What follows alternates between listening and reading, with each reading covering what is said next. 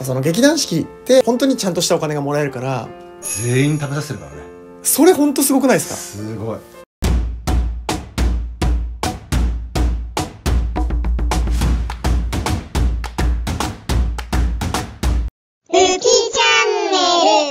はいどうも松しぶです。今日はですね劇団四季時代にお世話になった先輩え小野浩二さんのですね、えー舞台を、えー見に来ました。劇団四季時代にお世話になったとは言ってもですね浩二さんが舞台に立つ姿っていうのは僕は見たことないです。英語で歌うかもしれないし踊るかもしれない。どんな舞台かもわからないという。皆さんもご存知の通り劇団四季っていうのは舞台に立つだけで舞台に立つお仕事だけでねその生活が成り立つ日本でもすごく珍しい場所なんですけれどもでもねやっぱりみんないつかは辞める日が来るというか劇団四季から外に出るわけですよ。でまあそうなった時にじゃあどうやって生計を立ててるのかなみたいなまあそういうこともねそのちょっと先輩である浩二さんにいろいろ聞いてみたいと思います。あ見えてきました。あそこですね棒ガート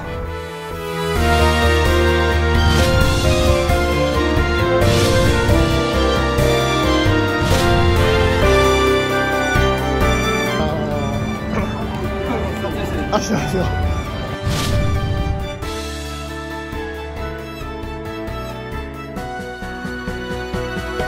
はいということでね今から浩二さんが出演する舞台を見ます。オーディションで選ばれた人たちが出る舞台だそうなのですごく楽しみですね。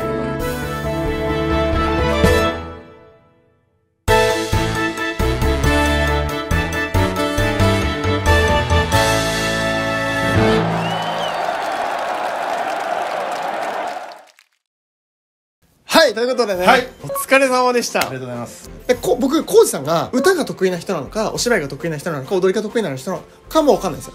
知らなかったんで。全部得意じゃないよ。いやいやいやそんなことなかった。全部得意じゃなかったらどうしようっていう懸念はあったんですよ。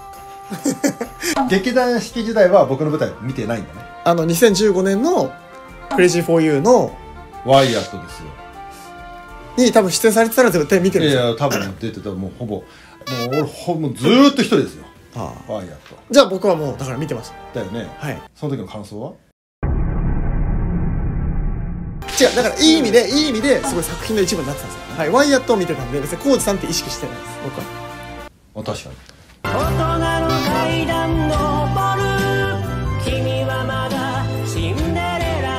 でも今日は僕浩二さんめっちゃ意識しました。っていうかめっちゃ良かったです。花があるなって思って。結構劇団四季時代のみんなからたまに会うと太ったって言われるんだけど、ちゃ違うんだよ。わざとパンプアップしてるわけよアメリカ来てから上げた。アメリカは結構筋肉ないと舐められますしね。あの舐められるしもうオーディション引っかかんないとんでもなく大きい方たちをリフトしなきゃいけないでしょそうですね。女性みんな175ぐらいありますあれ。それ以上あるあの構成も素晴らしかったですよね。素晴らしいよね。オーディションで決まったんですもんね。オーディション8 7月からブロードウェイのミュージカルのオーディションってそんなに長くないんだけども、はい。今回のこのオーディションに関して言えばすごく覚えてるのはめちゃくちゃ長くてもう途中でもうもう受かんなくていいから帰らせ思う。男性って4人しかいなかったと思うんですけど、うん。4人に残ったわけですもんね。やばいっすよ。まあ見て分かったと思うんだけどもやっぱそれはあれだよね。あの身長とかもある突然劇団四季クイズ。この演目は何でしょう？バレット塩路などが登場する。ピンポンはい。ガンマの大冒険。大正解。てか浩二さん調べてみるとめちゃめちゃ出た作品多いですよね。11年もいさせてもらってやっぱ年間200から300ステージ出させてもらうと、まあそれなりのね収入をもらえるわけですよ。それがまあ辞めたら収入ゼロですから。確かに。その時に一つ僕がご提案したいのは、俳優一本で生きていくことが果たして正しいのか。今僕はじゃあ劇団四季辞めて俳優一本で食べてるかっていうとあのそうではない。それとは別にプロデュース業もしてるし映像の仕事もかなり単発で入れてる。うん。アメリカにいるいながら日本とも仕事をしてるっていうのがそれがやっぱ浩二さんのすごいところなのかなっていう。今の時代だからこそ余計にアメリカに来ても仕事があるってことですよね。作れるってこめちゃくちゃ。だって例えばブロードウェイの「あのバック・トゥ・ザ・フューチャー」見ました。と見ましたでねその経験をね草場君はあのパッとシェアしちゃうけどもで僕はじゃあスナック200のさんでシェアしますって言ってそこに希少価値を持って飲み会でしか喋らないとかなるほど。いやでもやっぱり外に出た時に僕も思ったのはやっぱ自分で自分の価値を決めるじゃないですか。そうそれ大事。あと、まあ、それで言うと別に西野さんとプペルやってる時もじゃあなんで西野さんにこうアプローチできたかっつったら自分で自分の価値をあのしっかり見極めてじゃあそれを持って西野さんに DM してでもそれ返ってくる要素がをちゃんと持っていた。自己分析がちゃんとできてますもんね。戦略を練る上ではめちゃくちゃ大事だとまあそうですよね突然劇団四季クイズ。まあ浩二さんが出演されたことがある演目です。はい。1975年にオフブロードウェイのパブリック・ニューマン劇場でその幕を開けた。怒らさない。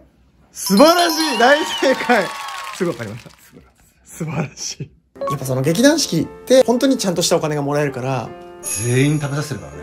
それ本当すごくないですか？すごいアンサンブルは食べれませんじゃないんですよ。こういう言い方が正しいかわかんないけど、俳優として生活していれば、欲しいバッグが買えたりだとか、まあ、そういうことができるっていうのはなかなか他の。まあ今の発言に対してはちょっと僕はすごくあの疑問を持つあ、はいはい。欲しいバッグなんてどうでもいいああ、なるほど。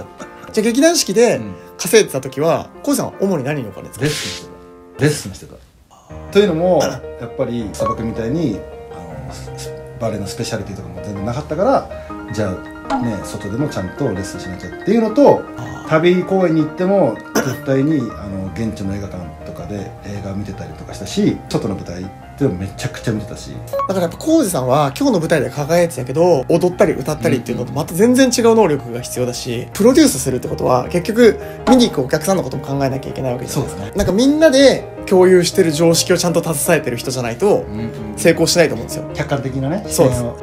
日本人の人パフォーマーさんたちが活躍する場をもっともっと提供したい作りたいっていう思いがめちゃくちゃあってそのうちの一つが、まあ、煙突町のプペルがあるし煙突町のプペルは日本公演2025年やるんだけども賛否両論はあるんだけどもあのオープンコールということで、人を助けるにはやっぱ経済じゃないですか。うん、だからやっぱそこを埋めてるっていうのはほんとすごいことだと思うし、ちょっと矢面に立ってね、批判を浴びる人もいると思うんですけど、でもそれもちゃんとした説明があれば、僕はちゃんとなんかそうだねいいんじゃないかなと思いますけど。